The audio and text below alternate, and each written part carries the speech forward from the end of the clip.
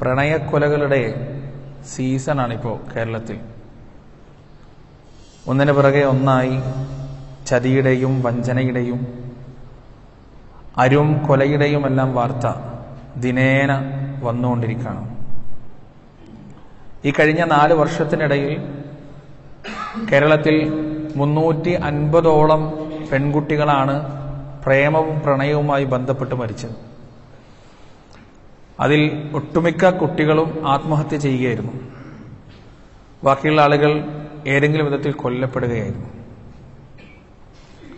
യഥാർത്ഥത്തിൽ കേരളം പോലെയുള്ള സാംസ്കാരിക തലത്തിലും വിദ്യാഭ്യാസ തലത്തിലുമെല്ലാം ഉന്നത നിലവാരം പുലർത്തുന്ന ഒരു സംസ്ഥാന സംസ്ഥാനത്തെ സംബന്ധിച്ചിടത്തോളം വളരെയധികം അപമാനകരമായ ഒരു സംഗതിയാണിത്.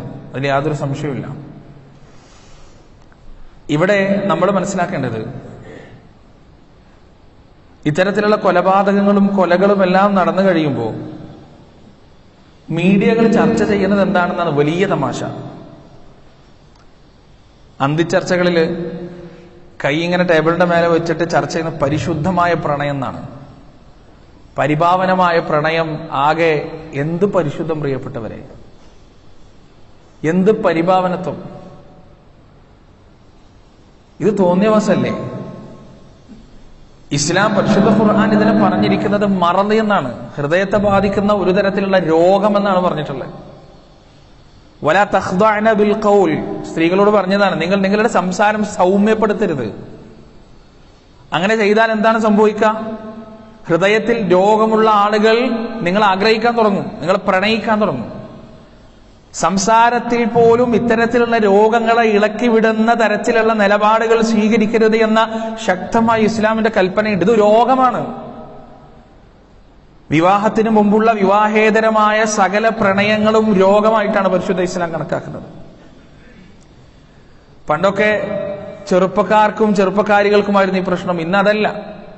മുപ്പതും നാൽപ്പതും അൻപതും കഴിഞ്ഞവർക്കും പ്രണയമാണ് വാട്സപ്പിലൂടെ ഫേസ്ബുക്കിലൂടെ സാമൂഹ്യ മാധ്യമങ്ങളിലൂടെ. സമുദായം ദുരന്തത്തിൽ നിന്ന് ദുരന്തത്തിലേക്ക് അതിവേഗം ചേക്കേറിക്കൊണ്ടിരിക്കുന്ന ദാരുണമായ കാഴ്ചയാണ് കണ്ടുകൊണ്ടിരിക്കുന്നത്.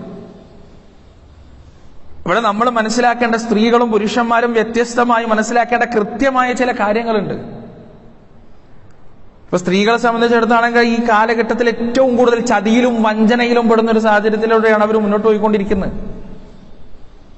ഒരാൾ അവർക്ക് മെസ്സേജ് അയക്കുന്നു അവരെ വിളിക്കുന്നു അവരെ കാണുന്നു സംസാരിക്കുന്നു ഈ കാലഘട്ടത്തിലെ സ്ത്രീകൾക്കാണെങ്കിൽ വളരെ ചെറിയ കാര്യം മതി. ഒരു ഓട്ടോറിക്ഷക്കാരൻ നൂറ് ഉറുപ്യ പറഞ്ഞിട്ട് പോട്ടെ പിന്നെ ഇരുപത് ഉറുപ്യ നിങ്ങൾക്ക് തിരിച്ചു തന്നിരിക്കുന്നു എൺപത് ഉറുപ്യ മതി എന്ന് പറഞ്ഞാൽ പിന്നെ ഓ ഭയങ്കര മഹാനാണ്.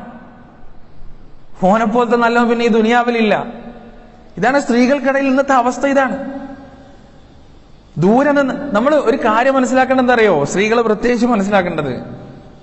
നമ്മൾ ദൂരെ നിന്നൊരു പർവതത്തെ നോക്കുമ്പോൾ ഒരു മലയെ നോക്കുമ്പോൾ അതിനെന്തൊരു സൗന്ദര്യമാണ് പച്ച പുതച്ച് നിൽക്കുന്ന ആകാശത്തെ മേഘത്തെ ചുംബിച്ചു നിൽക്കുന്ന ആ പർവതത്തിന് വല്ലാത്തൊരു സൗന്ദര്യമാണ് എന്നാൽ നിങ്ങൾ ആ പർവതത്തിന്റെ മലയുടെ അടുത്തേക്ക് പോയാൽ എന്താണ് സ്ഥിതി? അതിന്റെ മുകളിലേക്ക് നിങ്ങൾക്ക് കയറണമെങ്കിൽ ചെങ്കുത്തായ കയറ്റങ്ങളുണ്ടാവും. പല സ്ഥലത്തും വഴുക്കുകളുണ്ടാവും. നിങ്ങൾക്ക് അതിന്റെ മേലെ എത്താൻ കഴിയണം എന്നൊരു ഉറപ്പുമില്ല. ഒരുപക്ഷെ അത് കൊടുങ്കാടായിരിക്കും. ഹിംസ്ര ജന്തുക്കൾ ഉണ്ടാവും ഭീകരന്മാരായ മൃഗങ്ങളുണ്ടാവും. ഇതുപോലെ തന്നെയാണ് ഓരോ മനുഷ്യനും. നമ്മൾ ദൂരത്ത് നിന്ന് ഒരാളെ വീക്ഷിക്കുമ്പോൾ അയാൾ ഭയങ്കരം വ്യക്തിത്വമുള്ള ആളായിട്ട് തോന്നും. അയാൾ ഭയങ്കര സംഭവമാണ് ഭയങ്കര എക്സ്ട്രീംലി സോഫ്റ്റ് ആണ്. പക്ഷെ ആ മനുഷ്യന്റെ പേഴ്സണാലിറ്റിയുമായി വ്യക്തിത്വവുമായി നമ്മൾ അടുക്കുമ്പോഴാണ് ഒരിക്കലും കയറാൻ കഴിയാത്ത അത്രയും ചടുലമായ അത്രയും ഭീകരമായ ചെങ്കുത്താണ് അയാളുടെ വ്യക്തിത്വം നമുക്ക് മനസ്സിലാവുക. അയാളുടെ സ്വഭാവത്തിൽ പലതരത്തിലുള്ള ഹിംസ്ര ജന്തുക്കളും ഒളിഞ്ഞു കിടക്കുന്നുണ്ട് എന്ന് നമുക്ക് മനസ്സിലാക്കുക അയാളുടെ അടുക്കുമ്പോഴാണ്. അതുകൊണ്ടാണ് പല പ്രണയങ്ങളും ആത്മഹത്യകളിൽ കലാശിക്കുന്നത്. ദൂരെ കാണുമ്പോൾ എത്ര നല്ല വ്യക്തിത്വമായിരുന്നു. സ്നേഹസമ്പന്നനായ വാത്സല്യനിധിയായ കരുണാമയനായ വേദനകൾ മനസ്സിലാക്കുന്ന എമ്പതിയും സിമ്പതിയുമുള്ള ഹൃദയത്തിന്റെ ഭാഷകൾ മനസ്സിലാക്കുന്ന സ്നേഹം കൊണ്ടും കാരുണ്യം കൊണ്ടും മൂടുന്ന ഒരു പുരുഷൻ. എന്നാൽ ബന്ധം തുടങ്ങി കുറച്ചങ്ങോട്ട് കഴിയുമ്പോൾ അയാളുടെ ഓരോ സ്വഭാവങ്ങൾ ഇങ്ങനെ പുറത്തേക്ക് വരാൻ തുടങ്ങുകയാണ്. അയാൾ അതിതീവ്രമായ ടോക്സിക് ആണ് എന്നാണ് അപ്പോഴാണ് പെൺകുട്ടികൾക്ക് മനസ്സിലാവുക. ആത്മഹത്യയിൽ കലാശിക്കാണ് നേരെ തിരിച്ചു അതുപോലെ തന്നെ. ആൺകുട്ടികൾ ഇങ്ങനെ എന്തു നല്ല കുട്ടിയാണ്. എന്ത് നല്ല അച്ചടക്കാണ് എന്ത് നല്ല അനുസരണയാണ്. എന്റെ ജീവിതത്തിലേക്ക് വന്നു കഴിഞ്ഞാൽ അതെനിക്ക് വലിയ മുതൽക്കൂട്ടായിരിക്കും ഭയങ്കര സംഭവമായിരിക്കും. എന്നാൽ അടുത്തു കഴിഞ്ഞാൽ എന്താണ് സ്ഥിതി? ഇതന്നെയായിരിക്കും സ്ഥിതി. അതുകൊണ്ടാണ് പരിശുദ്ധ ഇസ്ലാം വിവാഹത്തിന് മുമ്പുള്ള സകല പ്രണയങ്ങളും രോഗമാണ് എന്ന് നിശ്ചിതമായി പറഞ്ഞിട്ടുള്ളത്. പുരുഷന്മാർ മനസ്സിലാക്കേണ്ട ഒരു വിഷയം പ്രത്യേകിച്ച് എന്റെ ശബ്ദം ശ്രവിക്കുന്ന എന്റെ പ്രിയപ്പെട്ട സ്കൂൾ കുട്ടികൾ മനസ്സിലാക്കേണ്ട ഒരു വിഷയം. നിങ്ങളൊരു വഴിയിലൂടെ നടന്നു പോകുമ്പോൾ ഒരു വീട്ടുമുറ്റത്തൂടെ നിങ്ങൾ നടന്നു വന്നിരിക്കാം അവിടെ ഒരു ചെടിയിൽ സുന്ദരമായ പൂവിങ്ങനെ വിരിഞ്ഞു കിടക്കുന്നുണ്ടെന്ന് ആയിരിക്കാം.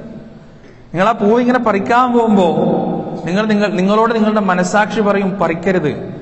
കാരണം ഈ വീട്ടുകാരനോ അല്ലെങ്കിൽ വീട്ടുകാരെയോ ഒരുപാട് ദിവസം നട്ട് നനച്ചു വളർത്തി അതിനെ ഈ കോലത്തിലാക്കാൻ അവർ കുറെ കഷ്ടപ്പെട്ടിട്ടുണ്ടാവും ആഗ്രഹിച്ചിട്ടുണ്ടാവും. അതുകൊണ്ട് അത് പറിക്കണ്ട എന്ന് സ്വന്തം മനസ്സാക്ഷി നമ്മളോട് പറയും.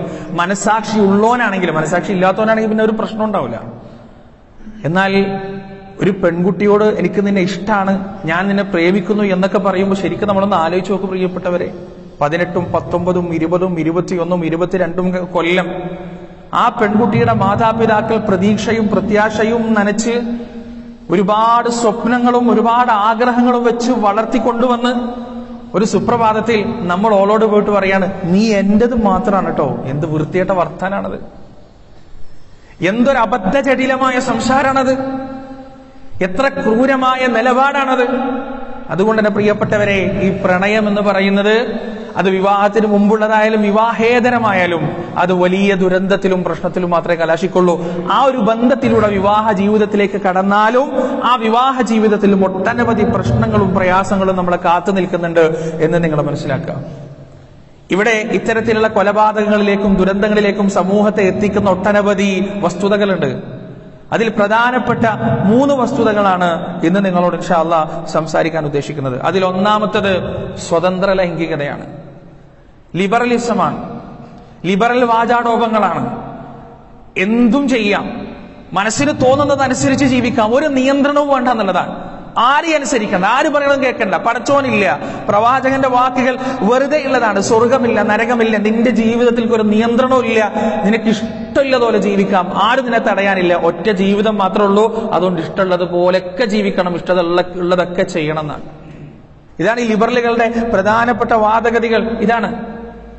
അതിൽ പ്രധാനമായും ലൈംഗികതയുടെ വിഷയത്തിലേക്ക് വരുമ്പോൾ ആയിരത്തി തൊള്ളായിരത്തി അറുപതുകളിൽ അമേരിക്ക പോലെയുള്ള നാടുകളിൽ സജീവമായി കണ്ട ഒരുപാട് സമര പരിപാടികൾ നമുക്ക് കാണാൻ കഴിയും. ആ പല സമരങ്ങളിലും മുഴുവൻ നഗ്നരായിക്കൊണ്ട് സ്ത്രീ പുരുഷന്മാർ നടു റോഡിലേക്ക് ഇറങ്ങിക്കൊണ്ട് തങ്ങൾക്ക് എന്തും ചെയ്യാനുള്ള സ്വാതന്ത്ര്യം വേണമെന്ന് ഭരണകൂടത്തോട് വാദിച്ചു. തത്ഫലമായി ആയിരത്തി തൊള്ളായിരത്തി അറുപതുകളിൽ പില്ലിന്റെയും അതുപോലെ സെക്കൻഡ് വേവ് ഫെമിനിസത്തിന്റെയും ആവിർഭാവം ഉണ്ടായപ്പോ ലോകം മുഴുവൻ പാശ്ചാത്യ രാജ്യങ്ങൾ മുഴുവൻ എന്തെന്നില്ലാത്ത അരാജകത്വങ്ങൾക്ക് സാക്ഷ്യം വഹിച്ചു എന്നുള്ളതാണ്. വൃത്തികെട്ട മ്ലേച്ഛമായ റസൂലുള്ളാഹി സ്വല്ലല്ലാഹു അലൈഹി വസല്ലം അന്ത്യനാളിന്റെ അടയാളമായി പഠിപ്പിക്കപ്പെട്ട മ്ലേച്ഛതകൾക്ക് പാശ്ചാത്യ രാജ്യങ്ങൾ സാക്ഷ്യം സാക്ഷ്യം വഹിക്കുന്നതായിട്ടാണ് പിന്നീട് നമ്മൾ കാണുന്നത്. പ്രിയപ്പെട്ടവരെ പിന്നീട് അതിന്റെ തത്ഫലമായി ഉണ്ടാവുന്ന വിഷയം എന്താ അറിയോ? സുബാനല്ല ആയിരത്തി തൊള്ളായിരത്തി എൺപത്തി ഒന്നിൽ എച്ച് ഐ വിയുടെ ഔട്ട് ബ്രേക്ക് ഉണ്ടാവുകയാണ്. നാല് കോടി പത്ത് ലക്ഷം മനുഷ്യരാണ് ഇന്ന് വരെ ആ രോഗം കാരണം മരണപ്പെട്ടു പോണത്. അതിന് മൂക്ക് കയറിടാൻ ഇന്ന് വരെ വൈദ്യശാസ്ത്രത്തിന് സാധിച്ചിട്ടില്ല. ഇവിടെയാണ് പ്രവാചകൻ പ്രവാചകനായിരുന്നു എന്ന് തെളിയിക്കുന്ന പരിശുദ്ധമായ ഒരു ഹദീസ് നമുക്ക് കാണാൻ കഴിയുക. റസൂലുള്ളാഹി സ്വല്ലല്ലാഹു അലൈഹി വസല്ലമ പറയാണ് അല്ലയോ മുഹാജിറുകളെ അഞ്ച് കാര്യങ്ങൾ നിങ്ങളിലേക്ക് വന്നു കഴിഞ്ഞാൽ അഞ്ച് കാര്യങ്ങൾ നിങ്ങളിലേക്ക് വരാതിരിക്കുന്നതിന് വേണ്ടി ഞാനിതാ അള്ളാഹുവിനോട് കാവൽ തേടുകയാണെന്ന് റസൂലുള്ളാഹി സ്വല്ലല്ലാഹു അലൈഹി വസല്ലമയുടെ മുന്നറിയിപ്പാണ്.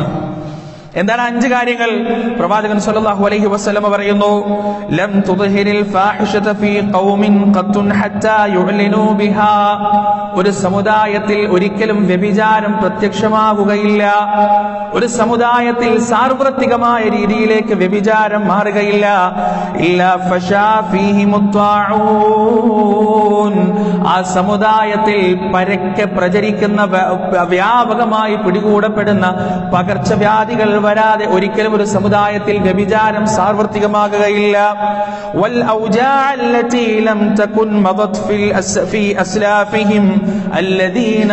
മാത്രമല്ല അവരുടെ മുൻഗാമികളായ ആളുകൾ കഴിഞ്ഞു പോയിട്ടുണ്ട്. അവർക്ക് കണ്ടുപരിചയമില്ലാത്ത കേട്ടുപരിചയമില്ലാത്ത അവർ അനുഭവിക്കാത്ത തരത്തിലുള്ള ഭീമാകാരങ്ങളായ രോഗങ്ങൾ അവരെ തേടി വരാതെ വ്യഭിചാരത്തിൽ വ്യാപൃതരാവാൻ അവർക്ക് കഴിയുകയില്ല.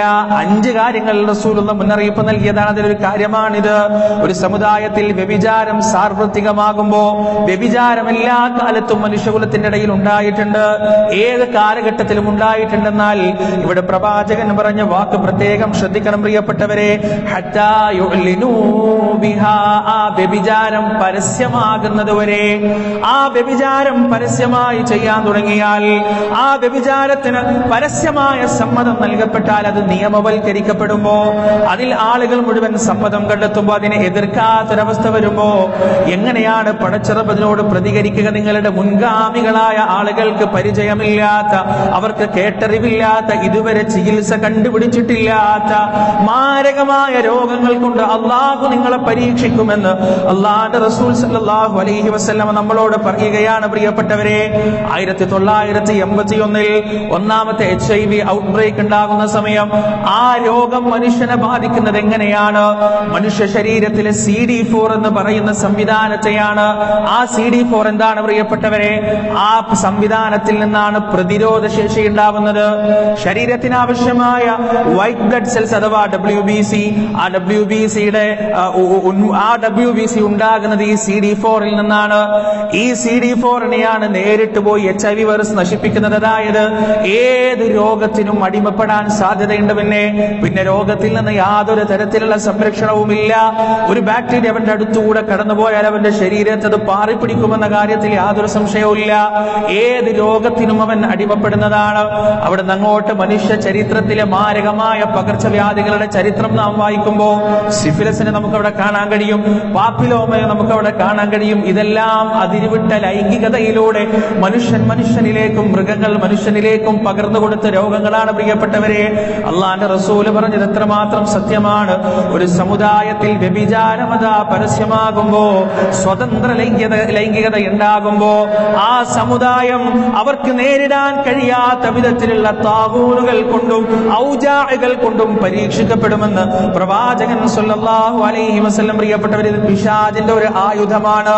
മനുഷ്യനെ ശാരീരികമായും മാനസികമായും നശിപ്പിക്കുന്നതിന് വേണ്ടി ഷെയ്ത്താൻ കണ്ടെത്തുന്ന വലിയൊരു മാർഗമാണ് സ്വതന്ത്ര ലൈംഗികത എന്നുള്ളത്. അള്ളാഹു പറയുകയാണ് യാ അയ്യുഹല്ലദീന ആമനൂ. അല്ലയോ സത്യവിശ്വാസികളെ ലാ തത്തബിഉ ഖുതുവാതി ശൈത്താൻ നിങ്ങൾ പിശാചിന്റെ കാലടിപ്പാടുകളെ പിന്തുടരാതിരിക്കുക. ആരാണോ പിശാചിന്റെ കാലടിപ്പാടുകൾ പിൻപറ്റുന്നത്?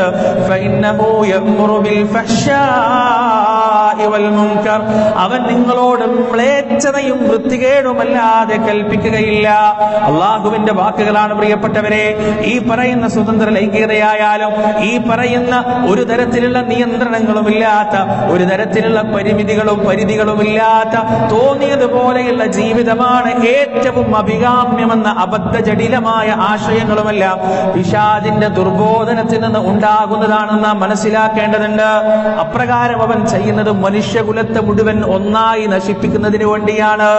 വ്യഭിചാരം സാർവത്രികമായി കഴിഞ്ഞാൽ ആ സമൂഹത്തിലേക്ക് അള്ളാഹുവിന്റെ അതാബായി പലതരത്തിലുള്ള പകർച്ചവ്യാധികളും മാരക രോഗങ്ങളും കടന്നു വരുമെന്ന് റസൂലുള്ളാഹി സ്വല്ലല്ലാഹി അലൈഹി സ്വലമ പറഞ്ഞിട്ടുണ്ട്. ഇത് സത്യമാണെന്ന് ആർക്കറിയാം? പിശാചിനറിയാം. മനുഷ്യനറിയില്ല. ഉമ്മത്തിനറിയില്ല എന്നുള്ളൂ. ആ പണിയാണ് ഷെയ്ത്താൻ ഇന്ന് എടുത്തുകൊണ്ടിരിക്കുന്നത്. ഇത്തരത്തിലുള്ള ദുരന്തങ്ങളിലേക്ക് സമൂഹത്തെ എത്തിക്കുന്നതിന്റെ ഒന്നാമത്തെ പ്രതി എന്ന് പറയുന്നത് ഈ തരത്തിലുള്ള വിശ്വാസങ്ങളും ആശയങ്ങളും ആദർശങ്ങളുമാണ് എന്ന് നാം മനസ്സിലാക്കേണ്ടതുണ്ട്. പ്രിയപ്പെട്ടവരെ അതുപോലെ തന്നെ രണ്ടാമത്തെ വിഷയം എന്താണ്? അതിരുവിട്ട ആൺ പെൺ സൗഹൃദങ്ങളാണ്. ഇപ്പൊ നിങ്ങൾ ഓരോ കോളേജ് കുട്ടികൾ ചോദിക്കുന്ന കേട്ടിട്ടില്ലേ? ചോദ്യം ചോദിക്കാൻ വന്നിട്ട് ഒരാണും പെണ്ണും ഒരുമിച്ചിരുന്നാൽ ആകാശം ഇടിഞ്ഞു പോവാനാണ് ചോദിക്കുന്നത്. ആകാശം ആകാശം ഇടിഞ്ഞു പോകുന്നതാണ് ഇവിടെ പ്രശ്നം. നീ ആണും പെണ്ണും ഒന്നിച്ചിരിക്കല്ല ലോകത്തെല്ലാവരും ഒരുമിച്ചിരുന്നാലും ആകാശം ഇടിഞ്ഞു പോവോ എന്ത് സംഭവിച്ചാൽ ആകാശം ഇടിഞ്ഞു പോവോ? ആകാശം ഇടിഞ്ഞു വീഴുന്നതല്ലല്ലോ ഇവിടെ വിഷയം. ഇവിടെ എന്താണ് പ്രിയപ്പെട്ടവരെ? ആണിനും പെണ്ണിനും തമ്മിൽ സംസാരിക്കാൻ പാടില്ല കാണാൻ പാടില്ല കാണുമ്പോൾ ഇങ്ങനെ ഒളിച്ചും പാത്തി ഓടിക്കളയണം എന്നൊന്നും ഇസ്ലാം പഠിപ്പിക്കുന്നില്ല.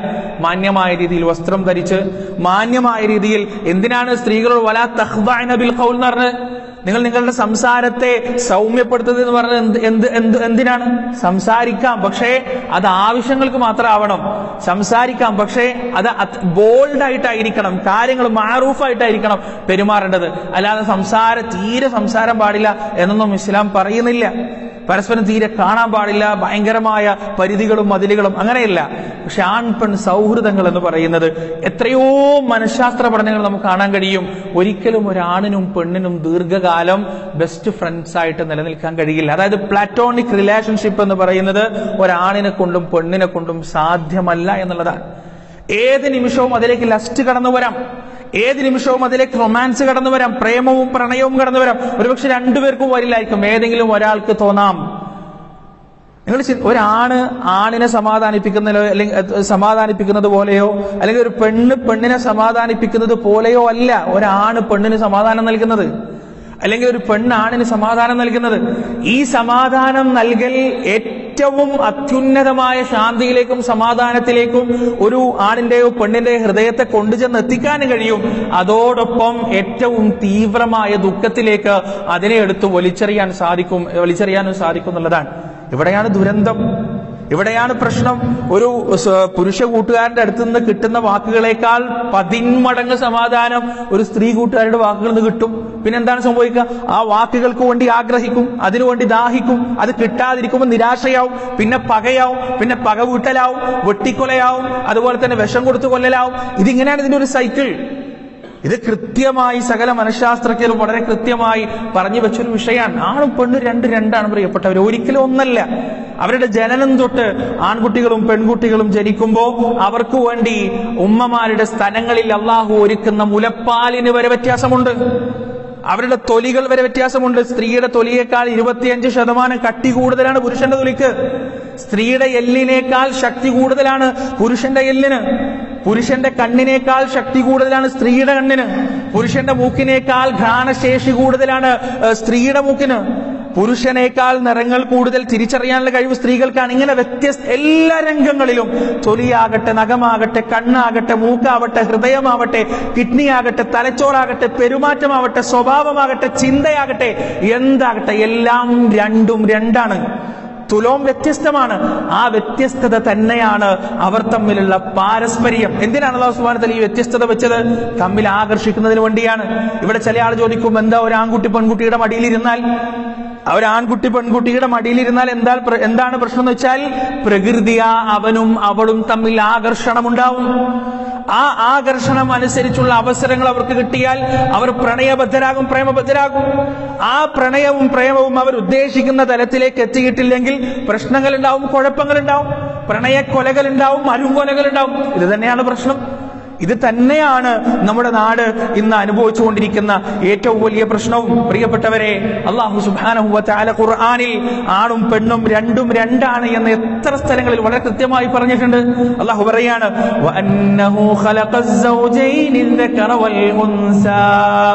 അള്ളാഹു അത് ആണിനെയും പെണ്ണിനെയും രണ്ടിണകളാക്കി സൃഷ്ടിച്ചിരിക്കുകയാണ്.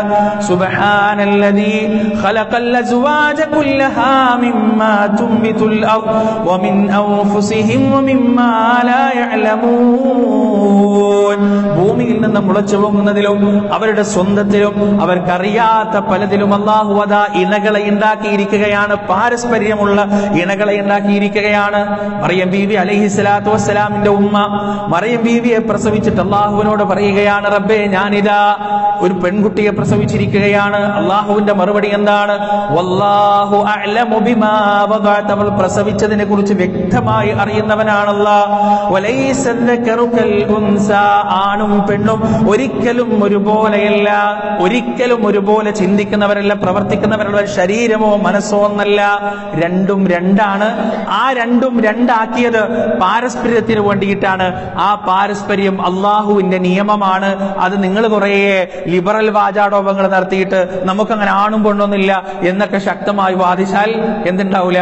ആണും പെണ്ണും ഒരുപോലെ ആവൂല അവർ തമ്മിലുള്ള പാരസ്പര്യം അതെന്നും നിലനിൽക്കുക തന്നെ ചെയ്യും. രണ്ടാമത്തെ ദുരന്തം ഇത്തരത്തിലുള്ള ദുരന്തങ്ങളിലേക്ക് എത്തിക്കുന്നത് ആ അതിരുകളില്ലാത്ത ആൺ പെൺ സൗഹൃദമാണ്. മൂന്നാമത്തത് പ്രിയപ്പെട്ടവരെ നമ്മൾ ഈ അടുത്ത കാലത്തായി കേട്ടിട്ടുണ്ടാവും ഈ ജെൻഡർ ന്യൂട്രാലിറ്റി പോലെയുള്ള ചർച്ചകളാണ്. യഥാർത്ഥത്തിൽ ബാലുശ്ശേരി സ്കൂളിൽ ആദ്യമായി ജെൻഡർ ന്യൂട്രൽ യൂണിഫോം വന്നപ്പോഴാണ് ഇതിനെക്കുറിച്ചുള്ള ചർച്ചകൾ മുന്നോട്ട് വരുന്നത്. എന്താണ് ഈ ജെൻഡർ ന്യൂട്രാലിറ്റി എന്ന് ശരിക്കും മനസ്സിലാക്കി വെക്കണം? ഈ ജെൻഡർ ന്യൂട്രാലിറ്റി എന്ന് പറഞ്ഞാൽ ആണും പെണ്ണും ഒരുപോലെ ആവണമെന്നല്ല. ആണ് പെണ്ണ് എന്നുള്ളൊരു കൺസെപ്റ്റ് ഉണ്ടാവാൻ പാടില്ല എന്നുള്ളതാണ്. അങ്ങനെ ഒരു ചിന്തന ഉണ്ടാവാൻ പാടില്ല. സ്വാഭാവികമായിട്ട് എന്റെ ഭാര്യ പ്രസവിച്ചാൽ എന്റെ സുഹൃത്തിനെ ഞാൻ വിളിച്ചിട്ട് പറയും എടാ എന്റെ ഭാര്യ പ്രസവിച്ചിട്ടുണ്ടെന്ന് പറയും. അപ്പൊ അവൻ സ്വാഭാവികമായിട്ട് ഇങ്ങോട്ട് ചോദിക്കുന്ന ഒരു ചോദ്യമുണ്ട്. ആരും ഇങ്ങോട്ട് ചോദിക്കുന്ന ഒരു ചോദ്യമുണ്ട്. എന്താണ്? എന്താണ് കുട്ടി എന്ന് ചോദിക്കുക. എന്താണ് കുട്ടി? ആ ചോദ്യം ചോദിക്കാൻ അത് പൊളിറ്റിക്കലി ഇൻകറക്റ്റ് ആണെന്നാണ് പറയുന്നത് ആ ചോദ്യം തന്നെ അവിടെ പാടില്ല. അത് തെറ്റാണെന്നാണ് പറയുന്നത്. പിന്നെന്താ? ഒരാ ഒരു കുട്ടിയും ആണായിട്ടോ പെണ്ണായിട്ടോ ജനിക്കുന്നില്ല. അവൻ അത്തരത്തിലുള്ള പേരിടാനോ അത്തരത്തിൽ അവനെ കാണാനോ ഒന്നും പാടില്ല. പിന്നെ എന്ത് ചെയ്യണം അവനെ പിന്നെ അങ്ങനെ വളർത്തിക്കൊണ്ടുവരിക ജെൻഡർ ന്യൂട്രൽ ആയിട്ട് വളർത്തുക ആണും പെണ്ണും കെട്ട ഒരു അവസ്ഥയിൽ അവനെ വളർത്തിക്കൊണ്ടുവരിക ഇനി ഹെറ്ററോ നോർമാറ്റിവിറ്റി എന്നാണ്. ഹെറ്ററോ നോർമാറ്റിവിറ്റിയുടെ ഉന്മൂലനം എന്നാണ് പറയുക. അവരങ്ങനെ വളർത്തിക്കൊണ്ടുവന്നിട്ട് പ്രായപൂർത്തിയാവുന്ന ഒരു സമയം ഉണ്ടാവുമല്ലോ. പെൺകുട്ടികൾക്കാണെങ്കിൽ പത്ത് വയസ്സ് പതിനൊന്ന് വയസ്സ് അല്ലെങ്കിൽ ആൺകുട്ടികൾക്കാണെങ്കിൽ പതിനാല് വയസ്സ് പതിനഞ്ച് വയസ്സ്. ഈ ഒരു അവസ്ഥയിലെത്തുമ്പോൾ എന്ത് ചെയ്യാം? ഈ പ്യൂബട്ടൽ ബ്ലോക്കേഴ്സ് കൊടുക്കുക. അതായത് ആ സമയത്ത് പ്യൂബട്ട് ഉണ്ടാവാൻ പ്രായപൂർത്തിയാവാൻ സമ്മതിക്കരുത്. അവർക്ക് ഗുളികകളും മരുന്നുകളും കൊടുത്ത് അതിനെ ബ്ലോക്ക് ചെയ്യുക. ഈ ജെൻഡർ ന്യൂട്രൽ സിദ്ധാന്തം മുന്നോട്ട് വെക്കുന്ന ആശയാണ് ഞാൻ പറയുന്നത്. എന്നിട്ട് ഒരു ഇരുപതോ ഇരുപത്തിയൊന്നോ ഇരുപത്തിരണ്ടോ വയസ്സാവുമ്പോൾ മാത്രം അവർക്ക് എന്തുണ്ടാവാൻ പാടുള്ളൂ? പ്രായപൂർത്തിയാവാൻ പാടുള്ളൂ. ആ സമയത്ത് അവർക്ക് പ്രായപൂർത്തിയായി കഴിഞ്ഞാൽ അവർക്ക് തോന്നും ഞാൻ ആണാണോ പെണ്ണാണോ? അതിനനുസരിച്ച് എന്ത് ചെയ്യാം? അവരുടെ ആണത്വവും പെണ്ണത്വവും നിർണയിക്കാം എന്നതാണ് ജെൻഡർ ന്യൂട്രൽ തിയറി മുന്നോട്ട് വെക്കുന്ന സിദ്ധാന്തം. എങ്ങനെയുണ്ട് ഇത്? ഇത് എത്ര ആളുകൾക്കറിയാം? ഈ വിഷയം എത്ര ആളുകൾക്കറിയാം? ഇവിടെ ഇരുപത്തഞ്ച് വയസ്സുള്ള ഒരു ആൺകുട്ടിക്ക് തോന്നാണ് ഞാൻ പെൺകുട്ടിയാണ്. എന്നാൽ എന്ത് ചെയ്യണം? നമ്മൾ എന്താ സാധാരണ ചെയ്യുക നമ്മുടെ നാട്ടിലുള്ള ഇരുപത്തഞ്ച് വയസ്സുള്ള ഒരു ആൺകുട്ടി വന്നിട്ട് ഞാൻ പെണ്ണാണ് എന്ന് പറഞ്ഞാൽ നമ്മൾ എന്ത് ചെയ്യും? അവനെ മാനസികാരോഗ്യ കേന്ദ്രത്തിലേക്ക് കൊണ്ടുപോകും. ഒരു മാനസിക ചികിത്സകൾ നടത്തും. ഇതൊരു സൈക്കോളജിക്കൽ ഡിസോർഡർ തന്നെയാണെന്നാണ് ഇത്രയും കാലം പിന്നെ പറഞ്ഞു വെച്ചത്. എന്നാൽ ഇന്ന് പറയുന്നത് എന്താണ്? ഇന്ന് പറയുന്നത് ഇത് സൈക്കോളജിക്കൽ ഡിസോർഡർ അല്ല. ഇതൊരു ബയോളജിക്കൽ ഡിസോർഡർ ആണെന്നാണ്. അതിന്റെ അർത്ഥം ഓനെ കൊണ്ടുപോകേണ്ടത് മാനസികാരോഗ്യ കേന്ദ്രത്തിലേക്കല്ല ഓനെ കൊണ്ടുപോകുന്നത് ഒരു സർജന്റെ അടുത്തേക്കാണ്. എന്തിനാണ് സർജന്റെ അടുത്തേക്ക് കൊണ്ടുപോകുന്നത്? ഓന്റെ തോന്നലാണ് ശരി. ഓന തോന്നലുണ്ടല്ലോ ഞാൻ പെൺകുട്ടിയാണെന്നുള്ളത്. ആ തോന്നലാണ് ശരി. അതിനനുസരിച്ച് അവന്റെ ശരീരത്തിൽ മാറ്റം ഉണ്ടാക്കണം. ജെൻഡർ റീഅറേഞ്ച്മെന്റ് ട്രീറ്റ്മെന്റുകൾ നടത്തണം. സർജറികൾ നടത്തണം. പെൺകുട്ടികളുടെ അവയവങ്ങൾ അവന് വെച്ചു കൊടുക്കണം. അതിന്റെ ഹോർമോണുകൾ അവന്റെ ശരീരത്തിലേക്ക് ഇഞ്ചക്ട് ചെയ്യണം. എന്നിട്ട് അവനെ ഒരു പെൺകുട്ടിയാക്കി മാറ്റണം. കാരണം അവന്റെ മനസ്സ് പറയുന്നതാണ് അവന്റെ തോന്നലാണ് ശരി എന്നാണ് ജെൻഡർ ന്യൂട്രൽ സിദ്ധാന്തം മുന്നോട്ട് വെക്കുന്നത്. എത്രമാത്രം അബദ്ധജടിലമായ എത്രമാത്രം ഭയാനകമായ ഒരു സംഗതിയാണെന്ന് പ്രിയപ്പെട്ടവരെ ഇവിടെ ഏറ്റവും വലിയ ഏറ്റവും വലിയ തമാശ എന്താണെന്നറിയോ? മനുഷ്യന്മാർക്ക് പലതരത്തിലുള്ള മാനസിക രോഗങ്ങൾ ഉണ്ടാവാറുണ്ട്. ഒരാണിന് പെണ്ണായിട്ടും പെണ്ണിന് ആണായിട്ടും മാത്രമല്ല തോന്നുക. ചില ആളുകൾക്ക് ഞാൻ പട്ടിയാണെന്ന് തോന്നും.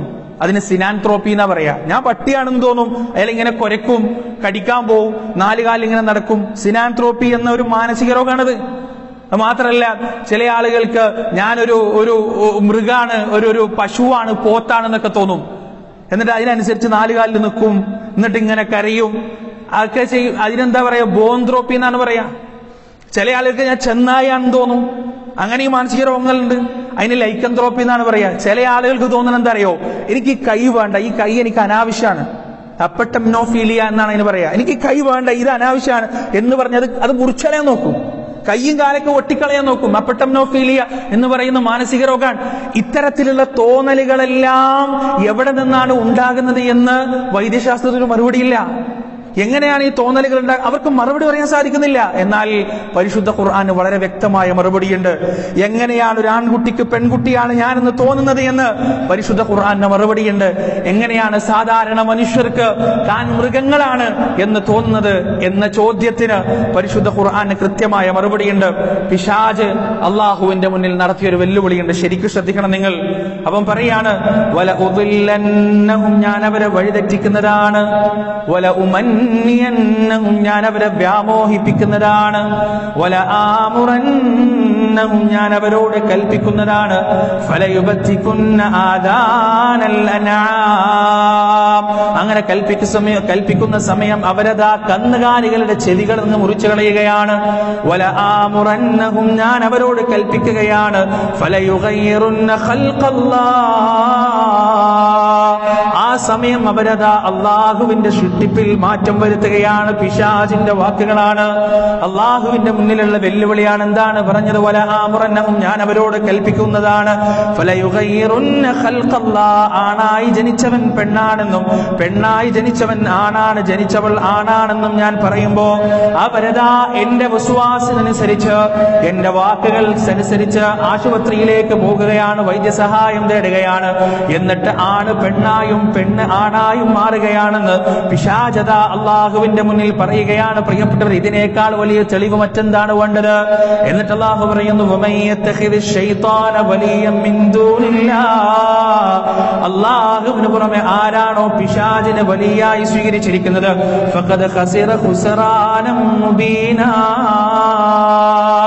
അവൻ വ്യക്തമായ വഴികേടിലേക്ക് തന്നെയാണ് പോയിട്ടുള്ളത് എന്ന് പരിശുദ്ധ ഖുർആൻ സംസാരിക്കുകയാണ്. പ്രിയപ്പെട്ടവരെ എത്ര വ്യക്തമാണ്? ഈ ജെൻഡർ ന്യൂട്രൽ തിയറി മുന്നോട്ട് വെക്കുന്ന ഈ ആശയങ്ങൾ ഉണ്ടല്ലോ ഈ പറയുന്ന തോന്നലുകളുണ്ടല്ലോ.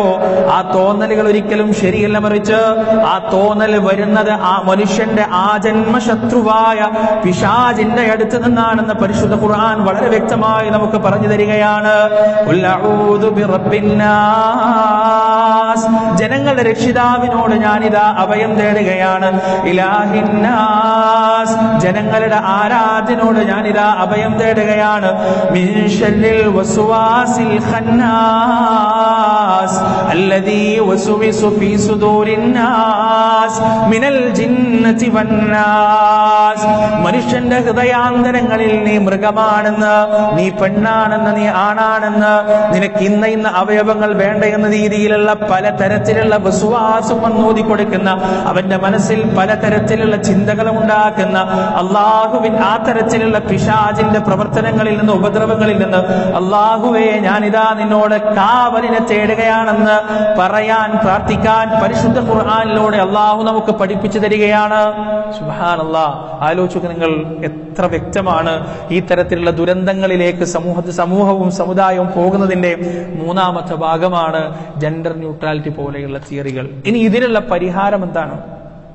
രണ്ട് പരിഹാരങ്ങളാണ് ഇതിനുള്ളത്. രണ്ടേ രണ്ട് പരിഹാരങ്ങൾ. ഒന്ന് വ്യക്തമായ ബോധവൽക്കരണം നടത്തുക. ഇത്തരത്തിൽ എന്താ ജെൻഡർ ന്യൂട്രാലിറ്റി ജെൻഡർ ന്യൂട്രാലിറ്റി ഇങ്ങനെ കേൾക്കുമ്പോൾ അതിനെ അവഗണിച്ചു വിടാതെ അതെന്താണ്? അതുകൊണ്ട് ഉദ്ദേശിക്കുന്നത് എന്താണെന്ന് പഠിക്കുകയും മനസ്സിലാക്കുകയും സ്വന്തം മക്കൾക്ക് പറഞ്ഞു കൊടുക്കുകയും ചെയ്യാം. അതിനെതിരെ ബോധവൽക്കരണം നടത്തുക. ബോധവൽക്കരണം നടത്തിയാൽ മാത്രം നന്നാവോ? ഒരിക്കലുമില്ല ഒരിക്കലും ബോധവൽക്കരണം നടത്തിയാൽ മാത്രം നന്നാവില്ല. പിന്നെ എന്ത് വേണം? ശക്തമായ നിയമനിർമ്മാണങ്ങൾ ഉണ്ടാവണം എന്നുള്ളതാണ്. ഇവിടെ നമ്മുടെ അടുത്ത പ്രദേശത്ത് ഒരു പെൺകുട്ടിയെ കൊന്നല്ലോ. ശ്യാംജിത്ത് എന്ന് പറയുന്ന യുവാവ്. ആ യുവാവ് ആ കൊലപാതകം നടത്തിയപ്പോ ഒരു കൂസലുമില്ലാതെ നിയമപാലകരോട് പറഞ്ഞൊരു വർത്താനുണ്ട്. എന്താണ്? ഒരു പത്തോ പതിനഞ്ചോ കൊല്ലം കഴിഞ്ഞാൽ ഞാൻ ഇറങ്ങിപ്പോരും. ജീവപര്യന്തം തടവ് കഴിഞ്ഞിട്ട് പത്തോ പതിനാലോ പതിനഞ്ചോ കൊല്ലം കഴിഞ്ഞാൽ ഞാൻ ഇങ്ങനെ ഇറങ്ങി വരും അപ്പോഴേക്ക് എനിക്ക് മുപ്പത്തഞ്ചോ മുപ്പത്തി ആറോ വയസ്സേ ആയിട്ടുണ്ടാവുള്ളൂ. ഞാനത് കഴിഞ്ഞ് സുഖമായിട്ട് ജീ എന്നൊരു കൂസലും ഇല്ലാതെ പറഞ്ഞത് നമ്മൾ കേട്ടതാണ് മീഡിയയിൽ. മാത്രല്ല ഈ പറയുന്ന ഷാരോൺ എന്ന് പറയുന്ന യുവാവിന്റെ മാതാപിതാക്കൾ വാർത്താ ചാനലുകളോട് മുഴുവൻ പറഞ്ഞൊരു കാര്യമുണ്ട്. എന്താണ്? അവർ പറയാണ് വധശിക്ഷ തന്നെ കൊടുക്കണം കൊന്നവനെ ഇത് മനുഷ്യപ്രകൃതി ആവശ്യപ്പെടുന്ന ഒരു ശിക്ഷയാണ്. കൊന്നവനെ കൊല്ലുക എന്നുള്ളത്. കൊന്നവനെ കൊല്ലുക എന്നത് മനുഷ്യപ്രകൃതി ആവശ്യപ്പെടുന്നതാണ് ആ മനുഷ്യപ്രകൃതി പുറത്തേക്ക് വരണമെങ്കിൽ നമ്മുടെ സ്വന്തക്കാർ കൊല്ലപ്പെടണം. അല്ലെങ്കിൽ നമ്മൾ വലിയ മനുഷ്യാവകാശം പറയും. എന്റെ ഉമ്മയോ എന്റെ വാപ്പയോ എന്റെ അനുജനോ എന്റെ അനുജത്തിയോ എന്റെ ഭാര്യയോ എന്റെ മക്കളോ കൊല്ലപ്പെടുമ്പോഴാണ് ആ മനുഷ്യപ്രകൃതി ഇങ്ങോട്ട് പുറത്തു വരിക. അപ്പോഴാണ് ഞാൻ പറയാ കൊന്നവന് വെറുതെ വിടരുത്. അവന് വധശിക്ഷ കൊടുക്കണം. അപ്പൊ വേറെ ആൾക്കാർ പറയും ഓ വധശിക്ഷ ഒന്നും കൊടുക്കരുത്. ഓ ജീവപര്യന്തം കഴിഞ്ഞു വന്ന് നന്നായാലോ? എന്ന് വേറെ ആൾ പറയും. പക്ഷെ അവരുടെ കുടുംബക്കാരാണോ ഈ വധത്തിന് വിധേയമാക്കി അവർക്കത് പറയാൻ കഴിയില്ല. ഇവിടെ അള്ളാഹു പറഞ്ഞ വളരെ സുന്ദരമായ ഒരു കാര്യമുണ്ട് ഖുർആൻ എന്താ അറിയോ? വലക്കും ഫിൽ ഖിസാസി ഹയാതു ഉലിൽ അൽബാബ്. വലക്കും ഫിൽ ഖിസാസി യാ അൽബാബ്. ഖിസാസിൽ അതായത് പ്രതിക്രിയയിൽ നിങ്ങൾക്കൊരു ജീവിതമുണ്ട്. ആർക്ക് ജീവിതമുണ്ടെന്നാണ് പറഞ്ഞത് മരണപ്പെട്ടു പോയവർക്കല്ല. നിങ്ങളുടെ സമുദായത്തിന് ഒരു ജീവിതമുണ്ട്. എന്താണ് ആ ജീവിതം? നിർഭയത്വമുള്ളൊരു ജീവിതമായിരിക്കും അത്. സംരക്ഷണ ഒരു ജീവിതമായിരിക്കും. ജയിലുകൾ ഉണ്ടാക്കുന്ന എന്തിനാ ജയിലുകൾ ഇല്ലാതിരിക്കാൻ വേണ്ടിയിട്ടാണ്. ജയിലുകൾ ഉണ്ടാക്കുന്നതിന്റെ ലക്ഷ്യം ജയിലുകളിൽ ഇല്ലാതിരിക്കുക എന്നതാണ്. എന്നാൽ നമ്മുടെ ജയിലുകളുടെ അവസ്ഥ എന്താണ്? ഒരു പാവപ്പെട്ട പെൺകുട്ടിയെ എത്രയോ വർഷം മുമ്പ് കൊന്നു കൊന്നു കളഞ്ഞ ഒരു ക്രൂരനായ ഒരു ഒരു വികലാംഗൻ അയാൾ ഇന്നും സമൂഹത്തിന്റെ സമ്പാദ്യത്തിൽ നിന്ന് ഭക്ഷിച്ചുകൊണ്ട് ചീർത്ത് അവിടെ ജീവിക്കുന്നുണ്ട്. അങ്ങനെ എത്ര എത്ര കുറ്റവാളികൾ എത്ര വിചിത്ര സ്വഭാവമുള്ള കൊടും കുറ്റവാളികൾ ക്രിമിനലുകൾ നമ്മുടെ നാടിന്റെ ജയിലറകളിൽ കഴിയുന്നുണ്ട്. അവർക്ക് തിന്നാൻ കൊടുത്ത് പോറ്റാണ് ഗവൺമെന്റ്.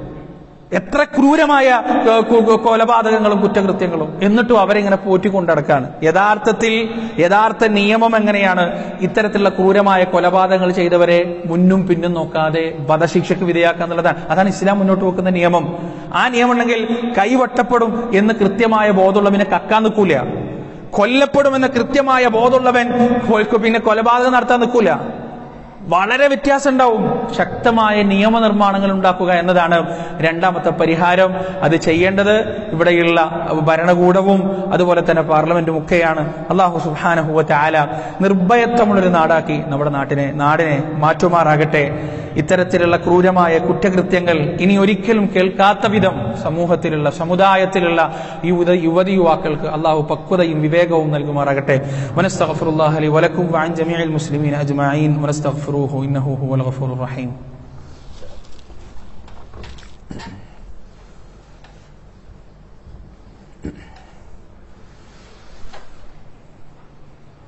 الحمد لله الصلاة والسلام على رسول الله وعلى آله وأصحابه أجمعين ما بعد يا أيها الذين آمنوا اتقوا الله حق تقاته ولا تموتن إلا وأنتم مسلمون ഒരിക്കൽ കൂടി അള്ളാഹുവിനെ സൂക്ഷിച്ച് ജീവിക്കണേ എന്ന് സ്വന്തത്തോടും നിങ്ങളോടും മുസീയത്ത് ചെയ്യുകയാണ് പ്രിയപ്പെട്ടവരെ നമ്മൾ കഴിഞ്ഞ ആഴ്ചയൊക്കെ പറഞ്ഞതുപോലെ ഇൻഷാ അള്ളാഹ് മറ്റന്നാളെ ഹയർ സെക്കൻഡറി ഹൈസ്കൂൾ വിദ്യാർത്ഥികൾക്കുള്ള ഹൈസക്ക് കണ്ണൂർ ജവഹർ ഓഡിയോ ഓഡിറ്റോറിയത്തിൽ വെച്ച് നടക്കുകയാണ്. നിങ്ങളുടെ മക്കളെ ആ പ്രായത്തിലുള്ള കുട്ടികളെ പരമാവധി അവിടേക്ക് എത്തിക്കാൻ ശ്രമിക്കുക. ഇത്തരത്തിലുള്ള ദുരന്തങ്ങൾ തടയാൻ നാം ചെയ്യുന്ന ഏറ്റവും വലിയ പ്രവർത്തനമായിരിക്കും അത്. അവർക്ക് പറഞ്ഞു മനസ്സിലാക്കി കൊടുക്കുക.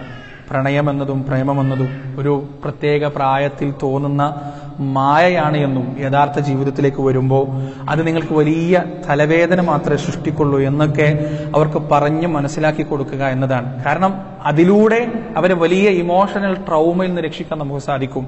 വൈകാരികമായ അപജയങ്ങളിൽ നിന്ന് രക്ഷിക്കാൻ നമുക്ക് സാധിക്കും. നമുക്ക് വേണ്ടത് വിവേകമതികളായ ചിന്താശേഷിയുള്ള ബുദ്ധിമതികളായ ബുദ്ധിമാന്മാരായ ഒരു തലമുറയെയാണ് ധർമ്മത്തിന്റെയും സദാചാരത്തിന്റെയും പക്ഷത്ത് നിലകൊള്ളുന്ന ഭാവി തലമുറയാണ് പ്രിയപ്പെട്ടവരെ നമുക്ക് വേണ്ടത്.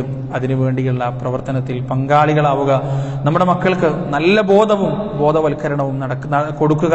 അള്ളാഹു സുബാനഹു ചാല നമ്മെയും നമ്മുടെ മാതാപിതാക്കളെയും നമ്മുടെ മക്കളെയും ഖിയാമത്ത് നാൾ വരെയുള്ള നമ്മുടെ സന്താനങ്ങളെയും എല്ലാം അവന്റെ ത്വാഴത്തിലും തക്കുവയിലും അടിയുറച്ച് നിർത്തുമാറാകട്ടെ. റബ്ബെ ഞങ്ങളിൽ നിന്ന് വന്നുപോയ ചെറുതും വലുതുമായ തെറ്റുകുറ്റങ്ങളിൽ ഞങ്ങൾക്ക് പുറത്തു മാപ്പാക്കി തരണേ അല്ല ജീവിതത്തിന്റെ രഹസ്യവും പരസ്യവും ഒരുപോലെ സംശുദ്ധമാക്കി ജീവിക്കാൻ ഞങ്ങൾക്ക് നീ തൗഫീഖ് നൽകണേ അല്ല ലാ ഇലാഹ ഇല്ലല്ലാഹ് എന്ന വഹദാനീയത്തിന്റെ കലിമത്തിന്റെ വക്താക്കളായി മരണം വരെ ജീവിക്കുവാനും മരിക്കുന്ന സമയം ആ കലിമ ഹൃദയം കൊണ്ടും നാവ് കൊണ്ടും ഉച്ചൈസ്തരം പ്രഖ്യാപിക്കാനും ഞങ്ങൾക്ക് നീ തൗഫീഖ് നൽകണേ റബ്ബെ اللهم أعز الإسلام والمسلمين وأذل الشرك والمشركين اللهم اغفر للمؤمنين والمؤمنات والمسلمين والمسلمات الأحياء منهم والأموات إنك مجيب الدعوات يا قاضي الحاجات ربنا ظلمنا أنفسنا وإن لم تغفر لنا وترحمنا لنكونن من الخاسرين ربنا آتنا في الدنيا حسنة وفي الآخرة حسنة وقنا عذاب النار تقبل منا إنك أنت السميع العليم وتب علينا إنك أنت التواب الرحيم. وصلى الله على نبينا محمد وعلى آله وأصحابه ومن تبعهم بإحسان إلى يوم الدين.